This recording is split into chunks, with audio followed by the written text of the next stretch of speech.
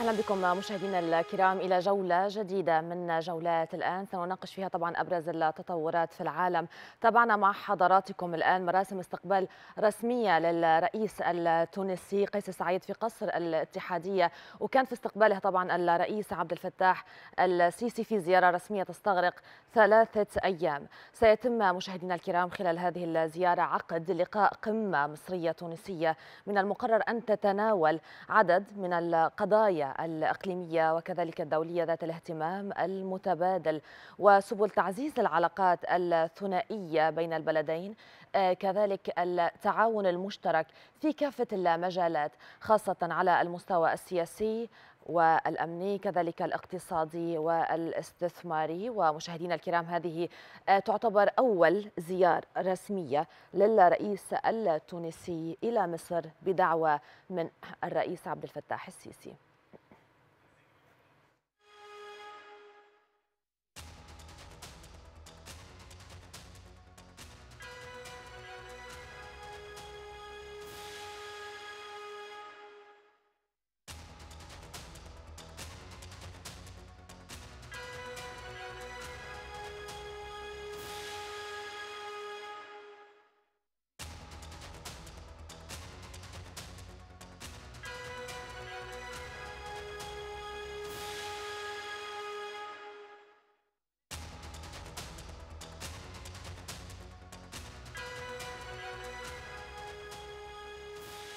وللمزيد مشاهدينا الكرام حول هذه الزيارة زيارة الرئيس التونسي قيس سعيد إلى مصر ينضم إلينا السفير حسين هريدي مساعد وزير الخارجية الأسبق. أرحب بك سعادة السفير بداية على شاشة أكسترا نيوز.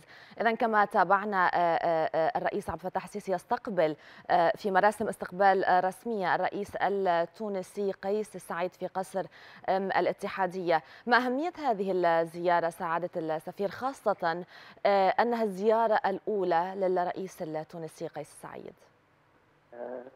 شكرا على الاستضافة. أحب أوضح بداية إذا سمحتي لي أن ديت ثاني زيارة لرئيس جمهورية تونس منذ أحداث الربيع العربي.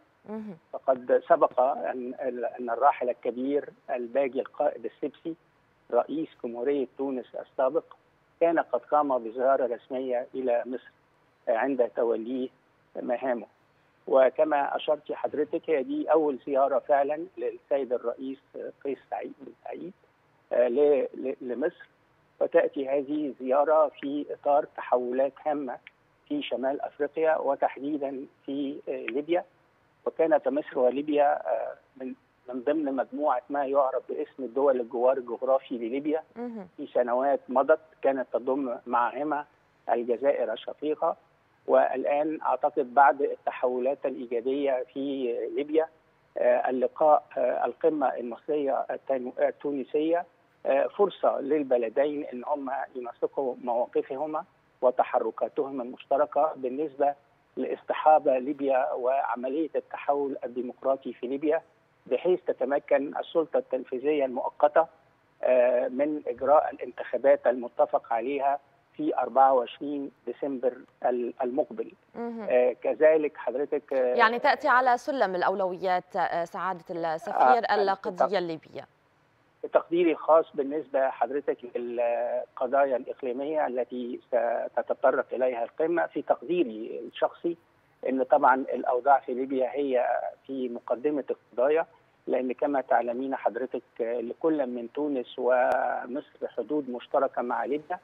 ومن وكان دائما من طليعة الدول العربية والدول المتوسطة والدول الإفريقية الحريصتان على استقرار الأمن في ليبيا. الآن وقد تم هذا أعتقد إنه تبادل وجهات النظر بين تونس والقاهره حول ما يمكن أن يقومان به لدعم السلطة التنفيذية المؤقتة ولدعم الحكومة التي سيختارها والنظام التي سيختارها الشعب الليبي في 24 ديسمبر القادم أعتقد ده له أهمية كبرى، كذلك مم. هناك في الأوضاع في المتوسط وقضيتي الإرهاب والهجرة غير المشروعه. فمصر وتونس لديهم نفس الاهتمامات، لديهم نفس الشواغل، لديهم نفس المصالح في التعامل مع الظاهرتين الظاهرتين في في يعني في الظاهر ما فيش رابط بينهم لكن في واقع الأمر أصبح هناك أثبتت التجارب العملية إن هناك في رابط بين الهجرة غير المشروعة وبين الإرهاب. الموضوع الآخر التعاون الموضوع القضية الأخرى أو الملف الآخر الهام هو ملف العلاقات الأفريقية العربية.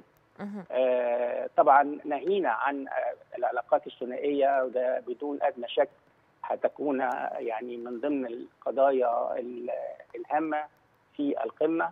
آه طبعا في اتفاقيات عديدة موقعة بين مصر وتونس بتمثل الإطار القانوني للتعاون الثنائي ويعني نتطلع إن هذه الزيارة تفتح مرحلة جديدة في العلاقات المصرية التونسية وتسمح بتفعيل العديد من الاتفاقيات سواء في ما يتعلق منها بالتبادل التجاري أو الاستثمارات أو التعاون الاقتصادي أو التعاون الفني. نعم. طبعا يعني مصر و...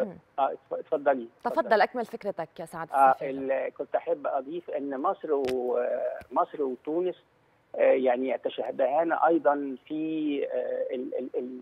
الأوضاع الاقتصادية البطالة الحرص على خلق فرص عمل الحرص على آه توفير الأمن والاستقرار لتحقيق التنمية المستدامة فيعني زيارة إحنا نرحب يعني بزيارة السيد رئيس جمهورية تونس الشقيقة وأعتقد تقديري إنها بتفتح مرحلة جديدة ليس فقط حضرتك بين مصر وتونس وإنما في العلاقات بين دول شمال أفريقيا.